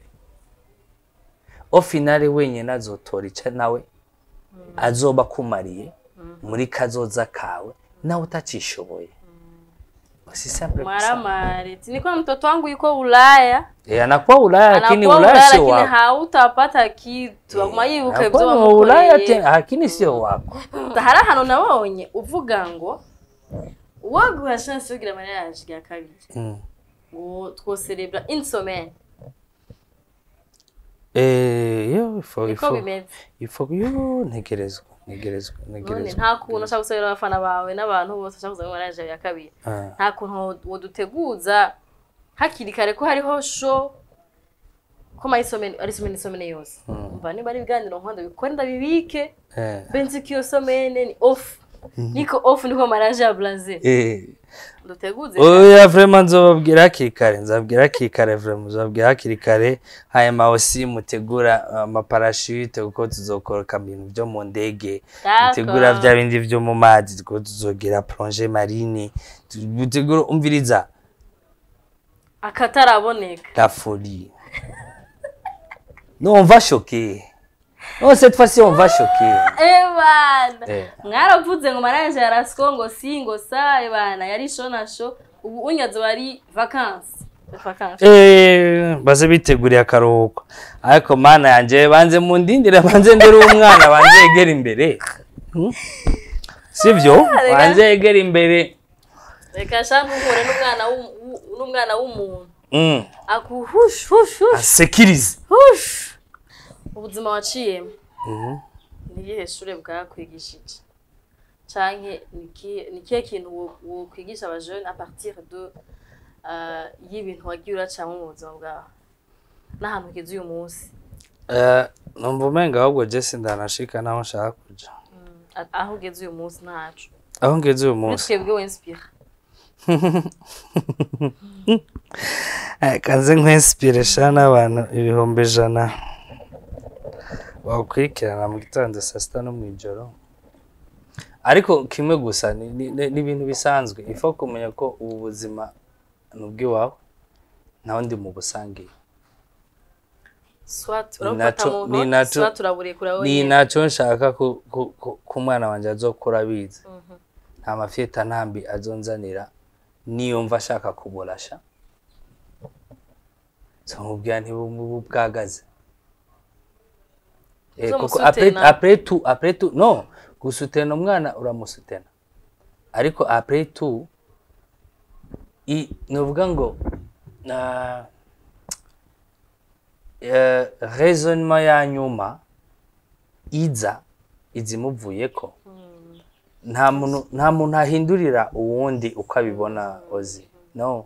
Ifo ko wowe ubicamwo kandi sinabibi gukora amakosa sinabikubwiye je nakora na- nari umuguruguru na- na- narakora amakosa menshi. Mugabo ni muri ayo makosa nagenda akora.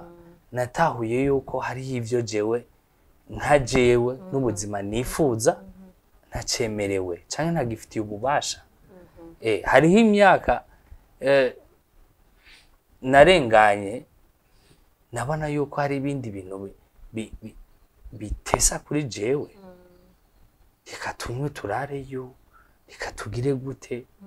Bijya byari bitese iriya myaka. Ariko ubu hariho ibindi bintu mbona bifitiye akamaro gusumba bijya sibyo nta umujene wese ariko arakura cyangwa ariko araza mu- muri ubu buzima turimo c'est très simple. Ayo makosa urayakora mugabo ikosa ryose rigira icyo rigusigiye nk'icibwa rikwigishe kuko nta ubuzima bw'iwanje bw'iwanje bwonyine ntacyo busa bwigisha abantu. Ubuzima bw'iwanje busa icyo bwigisha jewe nyene mwene bwo. Urabyumva? Kuko hari ibyo nakoze ubitahura nk'ibintu bidashoboka ntari gushobora gukora hari n'undi avyumva akavuga ati yo angalia Wabigenje ule gute?" peti yo uri kunachezeza batoto. Jewe vyari ibindi bintu.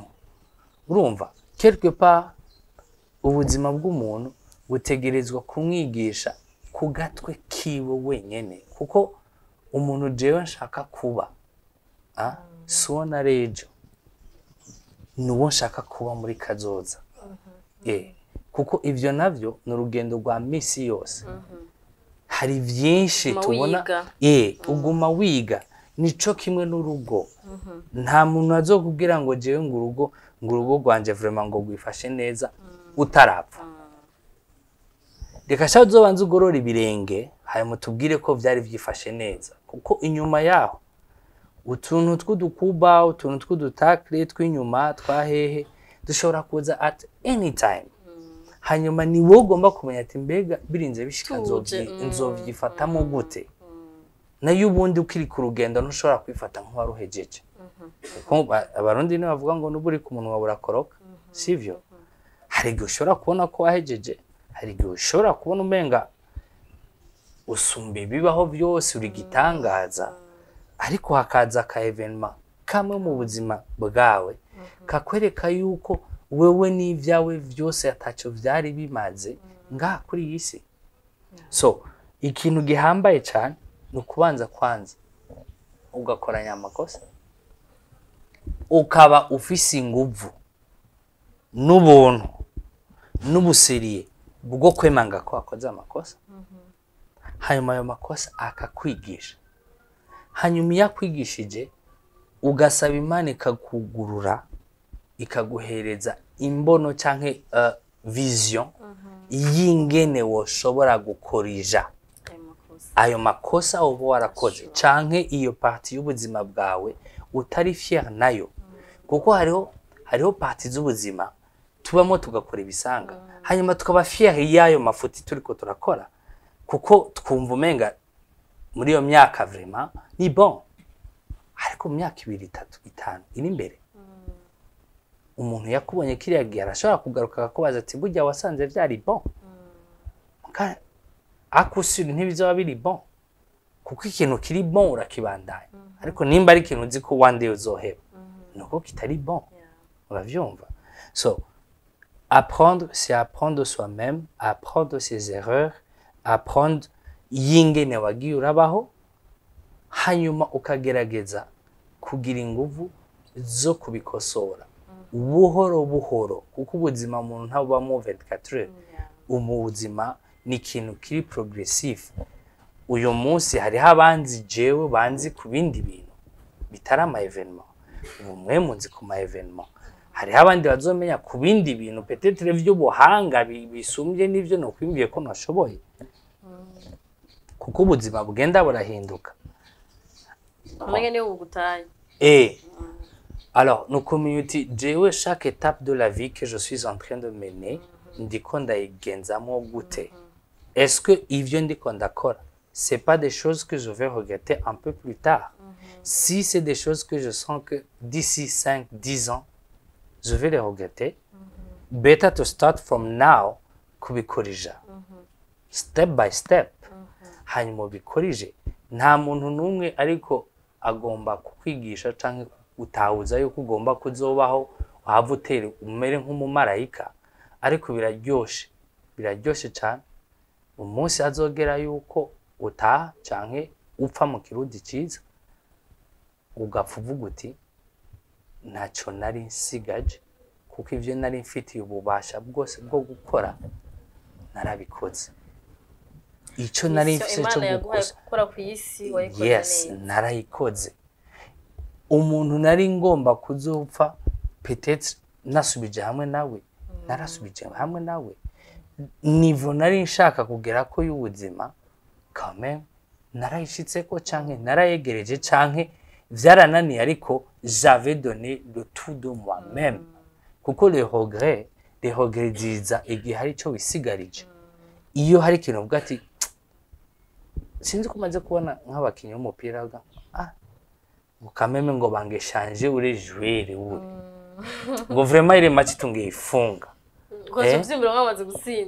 wamaze gutsinda so tugerageze gukuramo iyo mu buzima kuko iyo iza apre yuko byamaze kurangira sivyo?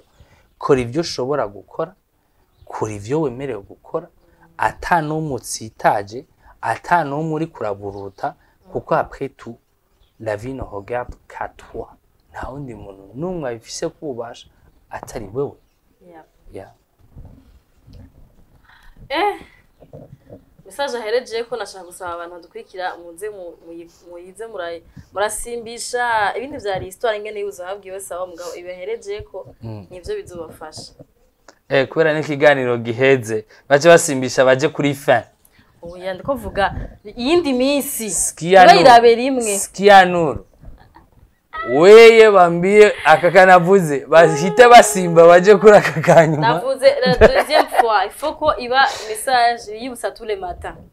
Baze baravyibutsa ko ubuzima bwabo baranyene ntibaze baraga imihari famille ngo ntiyabafashije ntibaze baraga imihari ngo abagenzi babo ngo barateye imbere bo ngo ntibabahanura ngo babigishe imigambi yo gutera imbere. Hariho ikindi c'est à toi. Hari ikindi kintu oze tu vois chaque fois iyo umuntu agize erreur canke échec mu buzima aba ashaka ije ku wundi muntu canke ku kindi kintu canke ku yindi eh? vyumvikane Ariko iyo sagiye. poids imuveko. Mm. mes chers amis sivyo? Bavuga ngo le succès a plusieurs pères mais l'échec est orphelin. Ni ibintu bisanzwe cane. Niwabigira kamere mu buzima bw'iwawe iyo ikintu canse ukabona ko nawe ubifisemo uruhara bizogufasha ku avansa hanyuma nta muntu n'umwe yaremewe kugira ngo aze ahindure ubuzima bw'iwawe nababwiye neza na twebwe ababyeyi mama wanje hariho igihe yari ari mu buzima bw'iwanje atatu nari kwishoboza ntamufise ariko ubu yaragiye. Nta kiburimwo ubwo buzima ubu buraba jewe. Nkozi ifutiriye inaka nije mfungwa. We baramumenyesha gusa yuko ewe amaguru n'ibirenge byose biri mu kirere. nk'ibi wabikoze gute Eh, nk'ibi byagenze ngaho. Gusa ariko ntawe umukurikirana. So ubaho uzi neza yuko mu rugendo urimo bw'ubuzima bw'iwawe amadecision yose ibyo ukora byose nta muntu n'umwe akeneye kuba centre y'ubuzima bw'iwawe.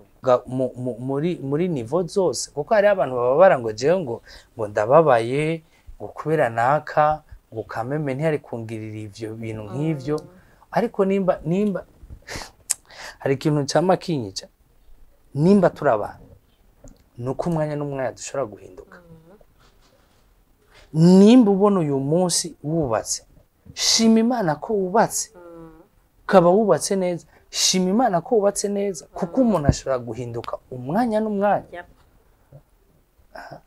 Nimba waragiriwe ubwo buntu bwo kuronka ikibondo ntugashinyagurize abatarakironka kuko nta ruhara na rumwe ubifisemwo kugira ngo ntibabe barakironka ahubwo nimba ufise inguvu zo kubasengera. Basengere nabo babe mu munezero urimwo. Ariko ntibivuze yuko wowe wamuronse udashobora kumubura then ukabaho ubuzima bw'agahinda kabi karusha n'abajya batamubonye. Uravyumva? Quelque part vyose imana itanga niyo niyo yigarutsa. Naho iwacu ho kumenya ngo nimba iyi evenement iri kiba mu buzima bw'iwacu irevre irababaje. Irababaje ariko sindi uwa mbere? Ibabaje. Irababaje ariko ntije kundangiriza ubuzima. Iyumvire comment te relever ehe. Usubira vuga uti guhaguruka. ahubwo ni gute iyi nzira ninayisubiramwo nosubira guhura n'ibibazo vyabaye ubwa mbere. Sivyo kugira ngo we bigufashe wama uri ekenge wama uri maso ku buzima ugomba kumenya hanyuma umenyere gushima ivyo ufise. Jewe igihe igihe ibi bintu byose binshikira naguma nivugira urakoze ma. Thanks jesus. urakoze cyane. Petetre hari ahantu imbere iwanje canke ku mufasha wanje je nabo tutabona. Mugabo petetre usanga hari hameze nabi gusumba uko hameze ubu. Hanyuma ukavuga ati aba bantu kugira ngo ahantu ntibaze bahagere. Eh reka reka reka ndahabakiza hakiri kare. So dukure mu bwenge yuko byose dushobora kubijera. Byose na byo dushobora kujera. Kuko n'ingene twashitse ngaha byinshi hari ibyo tudafite ko n'ivyemezo canke tutazi nuko byagenze ari ubuntu bw'imana tu yatugiriye ikavuga ati akira genda to akira eh akira. So ukuremo gusa yuko uri umuhinga w'ubuzima ubayeho nta muhinga n'umwe arimo ariko icyo gukora ni ugukora ayo makosa ugashobora kugira umutima wemera ko wayakoze hanyuma ukamenya n'ingano yakosora Eh, sino après tout ça twese turi abantu twese dufise iherezo rizoba riri rimwe twese ni i- ibirenge hanyuma tugaca hahandi baca hanyuma inyuma y'imyaka ingahe bakatwibagira and that's it. Nta n'umwe azobaho ubundi buzima special ngo bazomutware arambije hanyuma ngo twashika hariya dodo aravuga ngo aya ngo je ndagarutse kubera je ndi gihanganye. Eh, ngo sanze umenga arashushe cyane ya climatiseur nasiga muhira numva umenga mufume munzana ndagenda yitwaye sha ndaku- ndababwire nk'abantu umuhinga w'ubuzima bwacu ni imana yonyine only god. Imvura y'imigisha yogwa kwa rasiko kwa ozi yogwa n'iwawe. Imvura y'ibyago yogwa kwa ozi kwa rasiko yogwa n'iwawe. Mm. urumva ni juste kumenya ukuntu ubaho kuri iyi si. Simplement. Kugira ngo hari ibyo umuntu ashobora kwirinda hari n'ibindi biza giturumbuka atavyo wari witeze. Rero ibyo wokwirinze bibi vyirinde. Hanyuma ibyiza navyo bisengere imana nyine niyo ishobora ku kudushaka ikiganza cayo ikaturinda ibi vyo kuri iyi si. Anyways kashimira umugenzi wanje rasiko emission uh, yagenze neza. Vraiment jewe tu, tu me surprends. Ngira ni irya mbere dukoranye misiri mu busere gutyo kubadi dahise agira neza we. Muga yese arakunda abantu bakurikirana ibiganiro byanje. Yayibone ko bakeneye izo mpanuro zawe bakeneye i- ivyo ivyo bintu bikurimwo experience y'ubuzima bwawe bwo bashoboye gufashwa cyavuga ati uyu muntu ngenda mubu serieux bino bintu bivuge neza. Kuko abantu bakeneye je kubyumva. ikintu ca mbere ki- kiza ki- ki- ki- kikajamo famiye kikajamo ubuzima automatically kabisa. Haba hagiyemo ubuseriye kuko ni ho twubakiye. Ni igihugu cyubakiye n'isi yubakiye. Isi amavuga ati iyo igihugu bipfiriye mu muryango byubatswe bipfa- n'imiryango. ku kazi bifa mu barabara buciye bifa ahantu hose. Banki ko mu muryango aho ubaye b'abantu muba- mumara umwanya muniniya cyane muba mumeranye neza baguha atmosphere iri positive baguha umunezero baguha gutwenga baguha kumva ko ubuzima bworoshe. Kugira ngo nu- nuwaja gupambana n'ubuzima bwo ku kazi uje ufise wa munezero ukavanye muhira Mm. sino kama tukamufight kure. Eh. kwa kufightinga na watu na bana bakorege na bana batu bose. Hari umuntu yambwiye ngo ngo ibyo none byose byagushikiye ibyo bintu byose ubizi gute? Ndababwira ni ata ni nko kubaza umuganga ngo urwara gute? Mm. Uragwara. Wowe urivuzaho. Uragwara kandi ubundi muganga ni we Akakuvura. imiti urabyumva? ntiwivura. Ari ibintu tu- ni ukwemera ko ari ibintu tudashoboye biba bishoboye n'abandi bantu. Uko biba biri kose. No gushima imana. Mm. blaze asante sasa. Murakoze cyane. Murakoze hanyuma kudupatasha experience yawe kutuganiriza kuduha umwanya wawe n'ibindi byinshi udukorera abantu bo muri Silent Vibes. Ni ukuri nda- ndashima hanyuma eh, ndashima n'agashimwe twaronse. Imana iradukunda. Nubwira nsabe ni amasaba abantu bakurikirana Silent Vibes n'abakunzi bayo bose. Aka twakaririmbye kakonze ndakazanye sorry hold on hold on.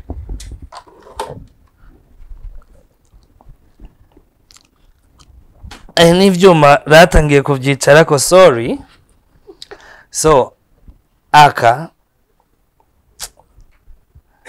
haraheze imyaka myinshi tukaririra. Imyaka yi Eh, papa. miaka ine vraiment two tuna cry. Ubu tugeze kuri 117 na je nabiraje 17000 118 vuga ati 118. bizosohoka turi kuri 118 zirenga ahubwo sawa tuzogera ziri kuri 118 uzoheza kukiraba wa mbere tuzoba tugeze kuri 120 twitera amashurwe ntacyo. Sivyo ariko nagira ndamenyesha uyu mama mama peshi na mama kuri. Yaragize yaragize ibintu by'akamaro cyane. Urabona ko yateye imbere yaragize kuri aka kantu. Aka kantu ga- na ka argent wangu. Ari akandi k'aka gold. Tu- turindire kuronka gold. Eh. kandi gold yo iba ari na nini par rapport iberi nini. iba igera nko ngaha mu burebure. Mm, arinda. Ah, aba ni ikenera abantu bangahe? Imiliyoni my friend. Un million. Oh. fata ijana ushyira ku irindi ijana ushyira ku irindi ijana ushyira ku irindi ijana eh.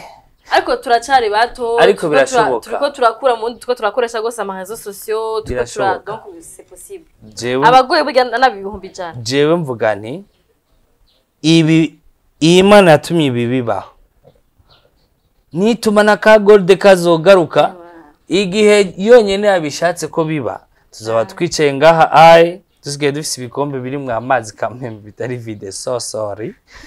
Dufise Iri ibikombe birimwe ka juice sivyo?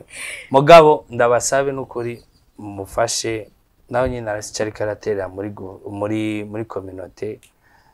Tumufashe nimba uhuye n'umugenzi atara atara subscribinga umufashe agira ka subscribe. Nibisanzwe tumuterere natwe tuzoba turiko turiterera. Ibi biraryoshe ku gihugu biraryoshe Ndabona ku ndabaha yozi. Reba ahantu heza Eh. amakamera meza. amakamera meza turonke Eh. Klimatizere kirangiza. naco araje tukirangize kino kiganiro. Ariko nanje reka- iriko- ikintu kimwe.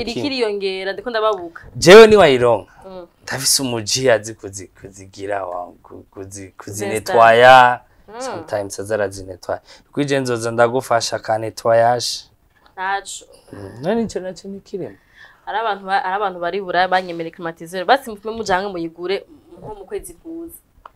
Nana amahera murayabuze miliyoni zibiri. Ni 2 million ndanayatse reka nta nayonze reka je naha kwibabura. Nje kubaza ntagira amahera yo kuyigura. Naciye niyakira kwanza. Reka naco tuzoraba ukuntu tubijera. Muze muze tugire ka ka- tukite Eh, ka Seven ka ozi. Eh? abafani iminsi ibiri baza muzamukagutse ibintu bisanzwe ozega ibintu bikorwa n'abantu navyo waruzi Aha. ibintu bikora abantu. Nanayivuze ko ngezwe nama sinzi impamvu batarampa klimatizere ahubwo kandi bavuga ko bankunda. Nukuri iyo tugiye kuyikuronderera hagati aho museme amen. tugume tubasaba ngo mugume muraba. Mugira subscribe mugira amapartage amapartage afati impamvu tubabwira mugira amapartage nuko hari abantu bashobora kuba batatuzi mugabo Bagaca bagaca batumenya Ya. bagashaka kunda n'ibiganiro vyacu impamvu turonka ababone ku munsi ku munsi barenga ijana kubera ko hari abantu muri mwebwe batwum- ba- batwumvira akamo kacu bakapartage.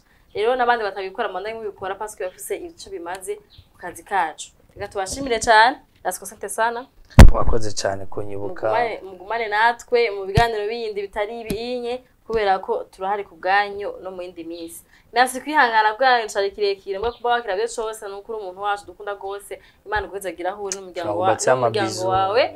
Iguha amahoro n'amafaranga n'amahera. Bizu. Mwa Siren Vibes TV.